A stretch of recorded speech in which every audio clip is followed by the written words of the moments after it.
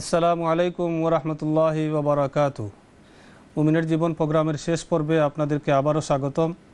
সম্মানিত দর্শক শ্রোতা, আপনাদের সুন্দর এবং জীবন ঘনিষ্ঠ প্রশ্নের উত্তর দেওয়ার জন্য এখানে উপস্থিত রয়েছেন মুমিনের জীবন প্রোগ্রামের নিয়মিত আলোচক জামিয়াতুল খায়ের আল ইসলামিয়ার সম্মানিত প্রতিষ্ঠাতা পরিচালক হজরত মাওলানা মুফতি আব্দুল মুন্তাকিম। দর্শক শ্রোতা, আমরা আপনাদের প্রশ্নের আনসারের দিকে যাচ্ছি। আপনারা আমাদের সাথে থাকুন। জাজাকুমুল্লাহ খায়ের মুফতি সাহেব, এই একজন বোন প্রশ্ন করেছিলেন তো এম্বুম সংক্রান্ত যে এই পাথর দিয়ে করতে পারবেন কিনা? হ্যাঁ তাইয়াম্মুমের ব্যাপারে উনি বলেছেন যে কোন কোন জিনিস দিয়ে তাইয়াম্মুম করা যায়। অনেকেই মনে করেন শুধু মনে হয় মাটি হতে হবে, পাথর দিয়ে করা যায় কি না এই প্রশ্ন তিনি করেছেন। তো তাইয়াম্মুম করার জন্য শুধু একটা কথা মনে রাখলেই হয় সেটা হলো জিনসুল আরব ফোকাহায় গ্রাম বলেছেন, হাদিস দলিলের ভিত্তিতেই বলেছেন যে জিনসুল আরব জমিনের জিন্স থেকে কোনো জিনিস যেন হয়। জিন্স বলা হয় জমিনের, জমিন জাতীয়, জমিনের যত ধরনের জিনিস, যেমন মাটি, ইট, পাথর, রড, এই যতগুলো জিনিস জমিন থেকে তৈরি হয়, মাটি জমিনের পাথর মাটি থেকে বের হয়ে আসে, লোহা মাটি থেকে আসে। তো এই জিনিসগুলি দিয়ে সিমেন্ট মাটি থেকেই আসে। এটাও একটা মাটির জাত, এক জাতীয় মাটি এটা, বিশেষ একটা প্রকারভেদ তো সিমেন্টের যে মনে করেন যে ওয়ালের মধ্যে আপনি দেখলেন যে কোথাও শুধু আস্তর করা হয়, প্লাস্টার করা হয় তো প্লাস্টার করার পর চুনকাম দেওয়া হয়। তো চুনকামের আগে যদি শুধু সিমেন্ট এবং বালু দিয়ে যদি প্লাস্টার করা হয়, তাহলে বালুও হলো মিন জিনসিল আরব জমিনের জিন্স থেকে একটা জিনিস বালু। বালু দিয়েও তাইয়াম্মম হবে। এটা নয় যে বালু পুরো চেহারার মধ্যে মারতে হবে বা চেহারায় মাটি দিয়ে একেবারে কাদাযুক্ত করতে হবে, মাটিযুক্ত করতে হবে, এমন কথা নয়। একেবারে পরিষ্কার, স্বচ্ছ একটা পাথর যদি হয় দৌত করে রাখেন, হাত এইভাবে যদি রাখেন, এটার উপর মাসেহ করেন, কিচ্ছু হাতে লাগে না তাই হবে, সম্পূর্ণ ঠিক আছে। বরং আমি পরামর্শ দেবো, ভালো একটা পাথরই রাখবেন যে পাথর দিয়ে দিলে কিচ্ছু লাগে না চেহারার মধ্যে। যদি তাইয়াম্মুমের আ- বাস্তবেই যদি কোথাও প্রয়োজন হয়। এই দেশে সাধারণত এটার প্রয়োজন খুব কমই দেখা দেয়। কারণ আমাদের দেশে অনেক সময় ঠান্ডার কারণে প্রবলেমটা দেখা দেয়। এই দেশে আলহামদুলিল্লাহ গরম পানি সর্বত্র পাওয়া যায়, জ্বর হলেও দেখা যায় যে মাসাল্লাহ গরম পানি অ্যাভেইলেবল সব ঘরে, সব জায়গায়। তো কোনো জায়গায় যদি গরম পানি কেউ না পায়, ঠান্ডা পানি ব্যবহার করলে অসুস্থতা বেড়ে যাওয়ার সম্ভাবনা থাকে। আর এইখানে আশপাশে কোথাও গরম পানি পাওয়া যাচ্ছে না, তখনই কেবল এই অজরের কারণে তাই বৈধ হতে পারে। তো এই দেশে সাধারণত তাই মুমের প্রয়োজনটা তেমন একটা দেখা দেয় না। যদি গরম পানি ব্যবহার করতে পারেন আর এর দ্বারা যদি কোনো অসুবিধা না হয়।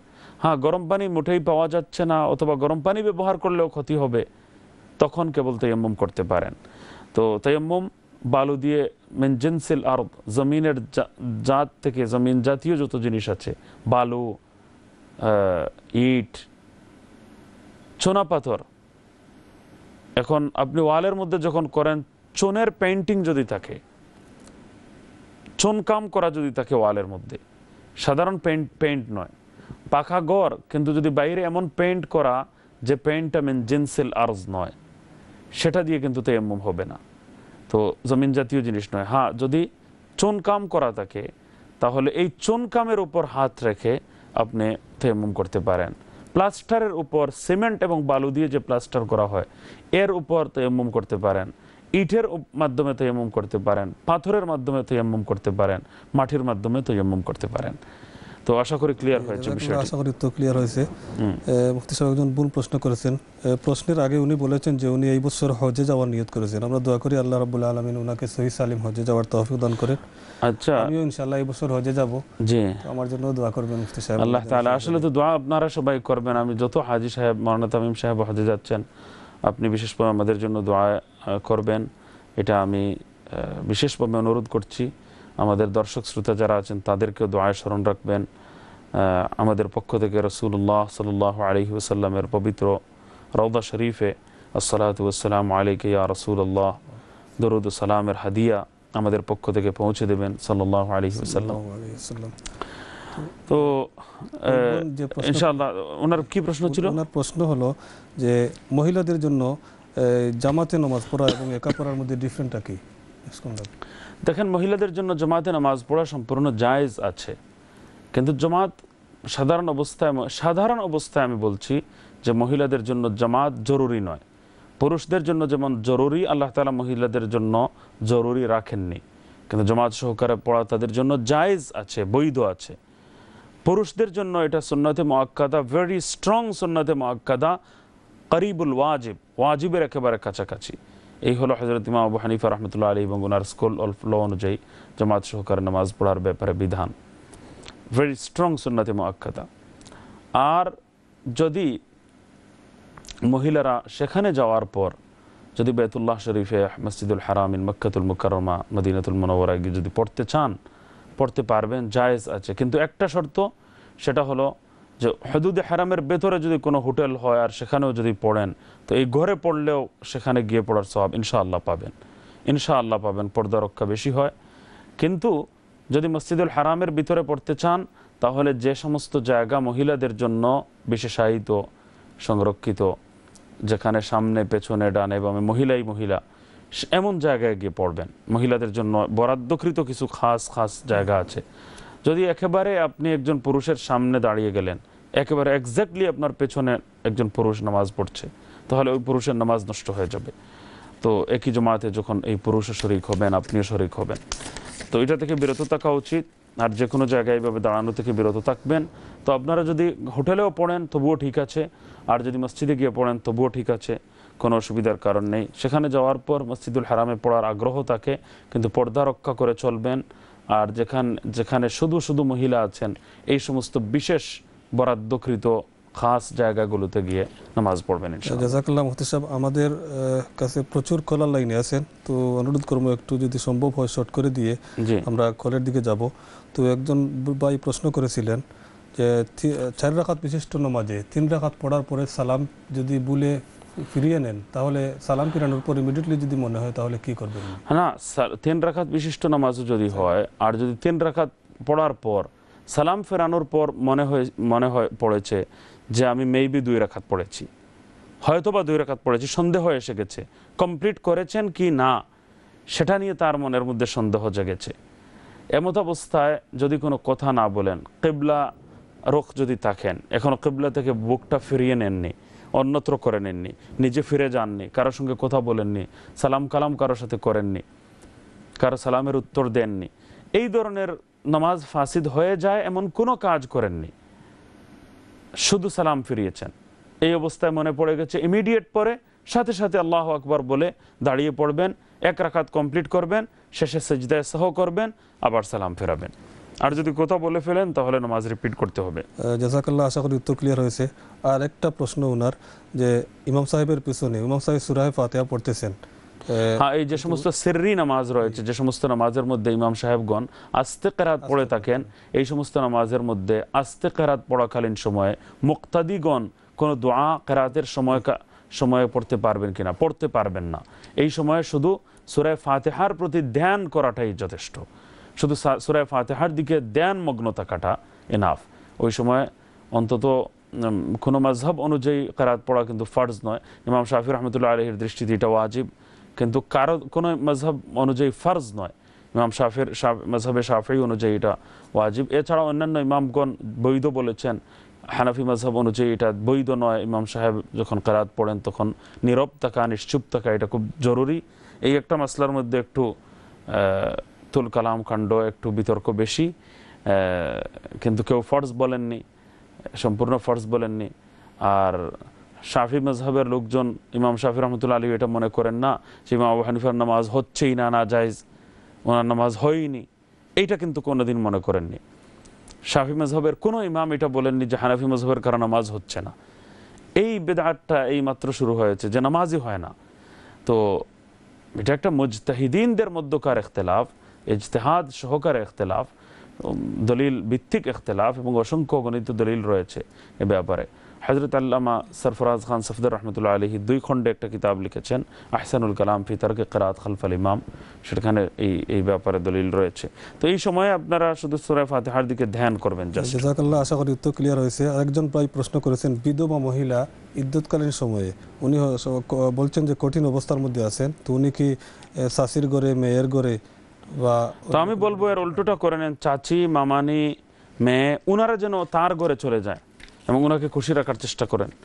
তো ওইখানে গেলে যে টাইম ওনারা দেওয়ার কথা ছিল, এর কারণ আমি বলব এটা যে ইদ্যত হলো চার মাস, দশ দিন পর্যন্ত ইদ্যতের মেয়াদ অতিবাহিত করতে হয়। তো এটা আল্লাহ তালার একটা হুকুম, একটা বিধান। এটা কোনো জেলখানা নয়, বন্দিখানা নয়।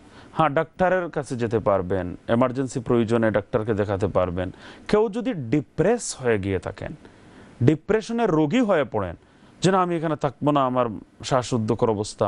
আর এখন দেখেন যে জোর করে যদি এখানে রাখা হয়, তাহলে ডিপ্রেশনের কারণে তার অন্য রোগ বেড়ে যাবে।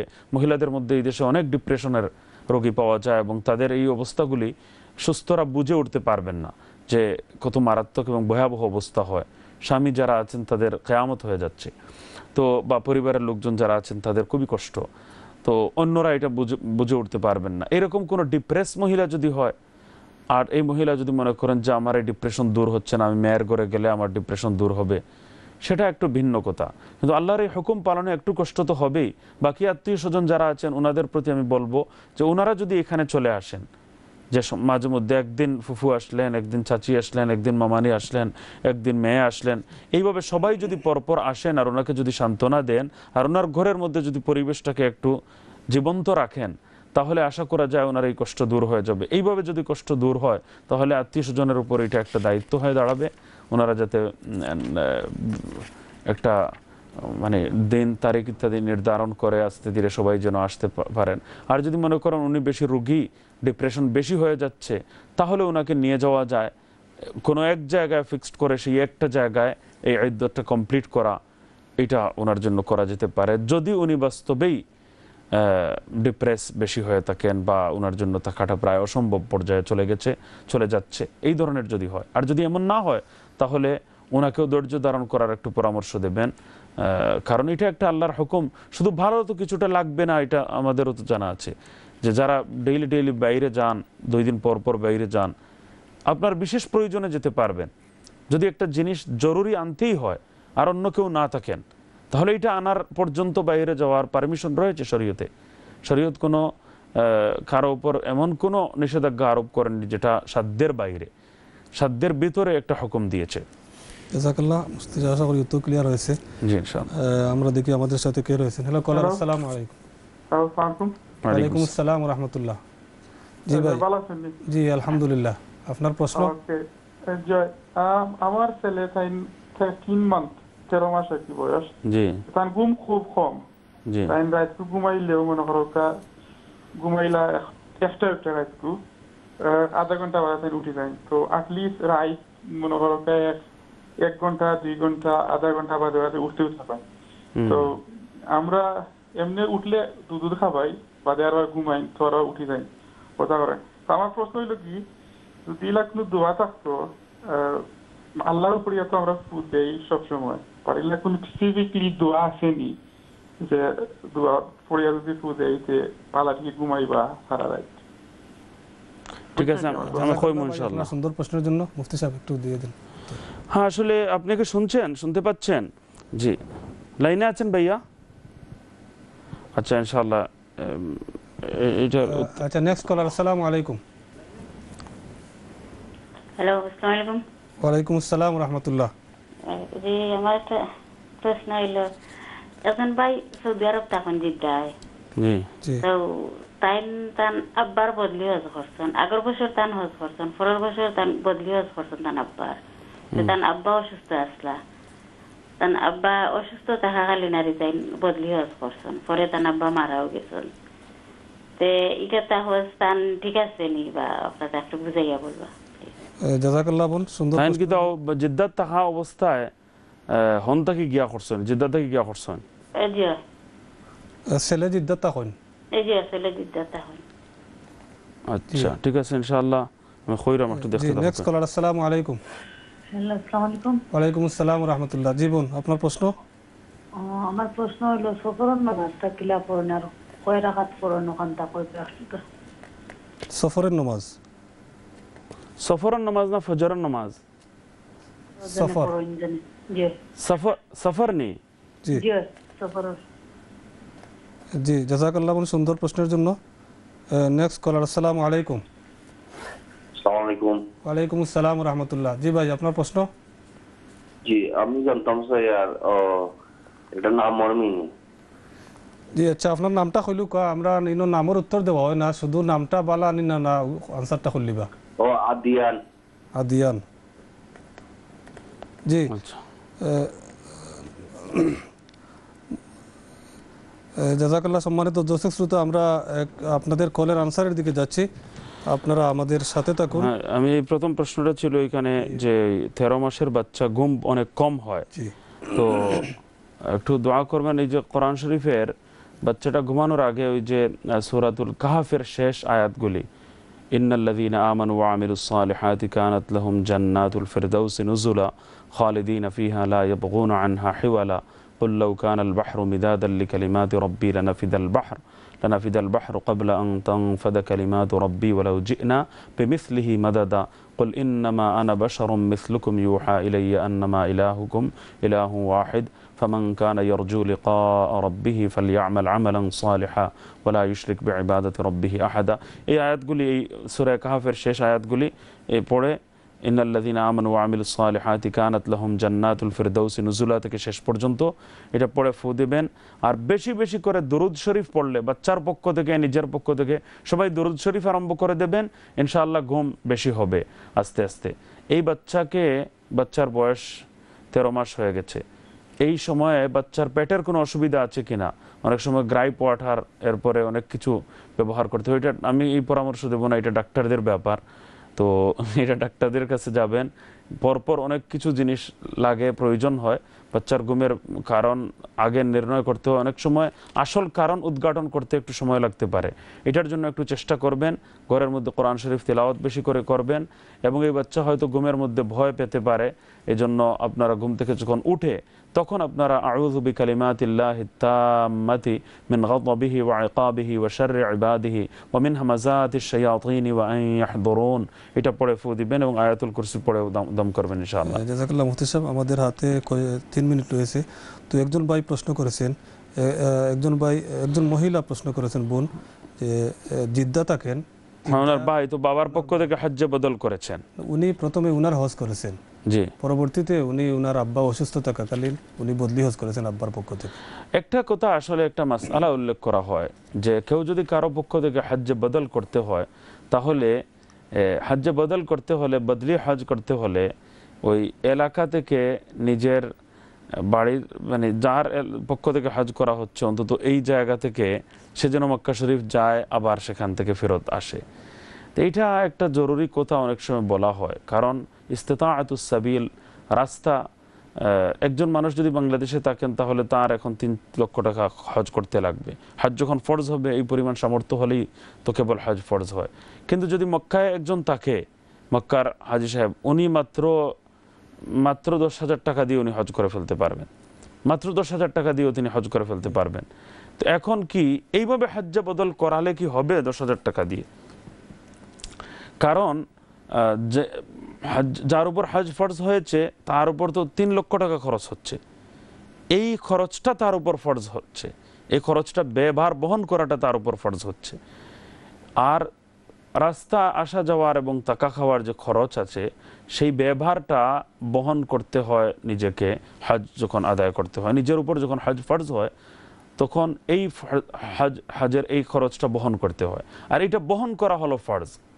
এই জন্য অনেক ওলামায় কারাম শরীয়তের দাবি অনুযায়ী একটা পরামর্শ দিয়েছেন যে না, ফরজ হজ যদি হয়, হজ্জে ফরজ যদি হয়, তাহলে এটার বদলা মক্কায় কেউ তাকেন, জিদ্দায় কেউ তাকেন, তাকে দিয়ে বদলা না করিয়ে নিজের দেশ থেকে একজনকে পাঠান। অথবা আমি বলি যে, এই সমপরিমাণ খরচ যদি হয়, যেমন লন্ডনে আছেন একজন, উনি বাংলাদেশ থেকে কাউকে পাঠিয়ে দিলেন, তো সমান খরচ হয় প্রায়, বরং বাংলাদেশ থেকে একটু বেশি হয়। তো এইরকম প্রায় সমান খরচ যে জায়গা থেকে হয়, এরকম কোনো জায়গা থেকে কোনো একজনকে পাঠালে সেটা হয় বেশি নির্বেঝাল এর মধ্যে সন্দেহ মুক্ত সন্দেহের ঊর্ধ্বে। ছেলে যদি ওই সময় মক্কা শরীফ থেকে বাড়ি থেকে চলে যান আর এই নিয়ত করে যান হাজের জন্য বাড়ি থেকে। আর আবার যদি হাজ শেষে যদি আবার কয়েকদিন পরে যদি ফেরত চলে আসেন বাড়ি পর্যন্ত, তো তবুও বলা যাবে ছেলের দ্বারাও এই হাজটা হয়ে যাবে। আর যদি তিনি দীর্ঘদিন আগের থেকেই জিদ্দায় থাকছেন, আর এই অবস্থায় তিনি জিদ্দা থেকে আবার হাজ করে আবার জিদ্দায় ফেরত চলে এসেছেন, তো লিটল বিট ডাউট এর মধ্যে যদি পারেন অন্য এই সামর্থ্য তাকে, তাহলে দেশ থেকে কোনো আল্লাহর ওলি কাউকে পাঠিয়ে দেন। কারও মাধ্যমে করিয়ে নেন ইনশাআল্লাহ। আশা করি উত্তর ক্লিয়ার হয়েছে মুফতি সাহেব আমাদের আর যদি নফল হজ হয় আর ফরজ যদি না হয়ে গিয়ে থাকে ফরজ যদি না হয়ে গিয়ে থাকে তাহলে তো আর ডাউট ফ্রি ওনার জন্য জিদ্দা থেকে করাটাই এনাফ জি এক মিনিট মুফতি সাহেব একজন বোন প্রশ্ন করেছেন সফরের নামাজের নিয়ম। হ্যাঁ সফরের নামাজ সফরের অবস্থায় যখন বাড়ি থেকে বের হবেন শহর থেকে বের হবেন আটচল্লিশ মাইল দূরে যদি যান রাস্তায় মুসাফির হবেন আর সফরের নামাজ সফরের অবস্থায় কাসার করতে হয় কাসার যদি আপনি সুন্নাত নফল না পড়লেও পারবেন, উইথির পড়তে হবে, ফরজ ওয়াজিব নামাজগুলি পড়তেই হবে আর সুন্নাত নফল পড়লে পরিপূর্ণ পড়তে হবে, ফুল পড়তে হবে, হাফ করতে পারবেন না। কাসার বলা হয় অর্ধেক করাকে, হাফ করাকে, সেটা শুধু ফরজ নামাজের মধ্যে হয়। আর ফরজ নামাজের মধ্যেও সবগুলি ফরজ নামাজের মধ্যে নয়, বরং চার রাকাত ওয়াল বিশিষ্ট যে সমস্ত ফরজ নামাজ রয়েছে, সেগুলোতে হয়। তাও আবার যদি লোকাল ইমামের পিছনে পড়েন, তাহলে নয়। বরং যদি মুসাফির ইমামের পিছনে পড়েন অথবা নিজে একা পড়েন, আর সফরের অবস্থায় যদি থাকেন। সেখানে পৌঁছার পর যদি আপনি মুসাফির না থাকেন, পনেরো দিন থেকে বেশি থাকার ইচ্ছা হয়, অথবা নিজের বাড়িতে গিয়ে পৌঁছালেন, তাহলে আপনি মকিম হয়ে যাবেন, ফুল নামাজ পড়তে হবে। আর যদি মুসাফির যতক্ষণ আছেন শরীয়তের দৃষ্টিতে ততক্ষণ পর্যন্ত আপনি একা নামাজ পড়লে অথবা মুসাফির ইমামের পেছনে নামাজ পড়লে শুধু ফরজ নামাজের মধ্যে কসর করবেন, আর তাও শুধু চার রাকাত বিশিষ্ট ফরজ নামাজের মধ্যে দুই রাকাত পড়তে হয়। একা যদি পড়েন বা মুসাফির ইমামের পেছনে পড়েন। আর সুন্নত নফল ইত্যাদি না পড়লেও পারা যায়, কিন্তু উইথির পরিপূর্ণ পড়তে হবে। আর সুন্নত নফল যদি পড়েন, তাহলে রিল্যাক্স থাকলে পড়া বেশি উত্তম। বিজি বেশি না থাকলে রিল্যাক্স থাকলে পড়া উচিত বা বেশি উত্তম। এটা পরিপূর্ণ পড়তে হবে ফুল পড়তে হবে এর মধ্যে কোনো কসরের বিধান মুফতি সাহেব আমাদের টাইম শেষ হয়ে গেছে। একজন ভাই প্রশ্ন করেছিলেন আদিয়ান নাম। আদিয়ান মানে আসলে তো দিন সমূহ ধর্ম সমূহ এটা আসলে কোনো ভালো নাম তত বেশি উপযুক্ত নাম নয়। অন্য কোনো নাম রাখলে ভালো হয়। দাইয়ান আব্দুদ দাইয়ান যদি রাখেন তাহলে এটা ভালো হবে। জাজাকাল্লাহ মুফতি সাহেব আমাদের টাইম একেবারে শেষ হয়ে গেছে। আপনাকে সময় দেওয়ার জন্য ধন্যবাদ। আপনাকে অনেক অনেক ধন্যবাদ সম্মানিত দর্শক শ্রোতা আমাদের আজকের অনুষ্ঠানের প্রোগ্রামের একেবারে শেষ প্রান্তে এসে গেছি। আমাদের টাইম শেষ হয়ে গেছে। প্রথম থেকে এই পর্যন্ত যারা আমাদের সাথে ছিলেন সকলকে, আমার পক্ষ থেকে, মুমিনের জীবন প্রোগ্রামের পক্ষ থেকে ধন্যবাদ জানিয়ে আজকের মতো এখানেই বিদায় নিচ্ছি। ভালো থাকুন, সুস্থ থাকুন। আগামীতে আবারও দেখা হবে। আসসালামু আলাইকুম ওরহমতুল্লাহি ওবরাকাতু। তোমরা কোন কোন নিয়ামত করবে অস্বীকার। যেখানেই তাকাবে, দেখবে শুধু তার নিয়ামত সম্ভার। তোমরা আল্লাহর কোন কোন নিয়ামত করবে অস্বীকার। যেখানেই তাকাবে, দেখবে শুধু তার নিয়ামত সম্ভার।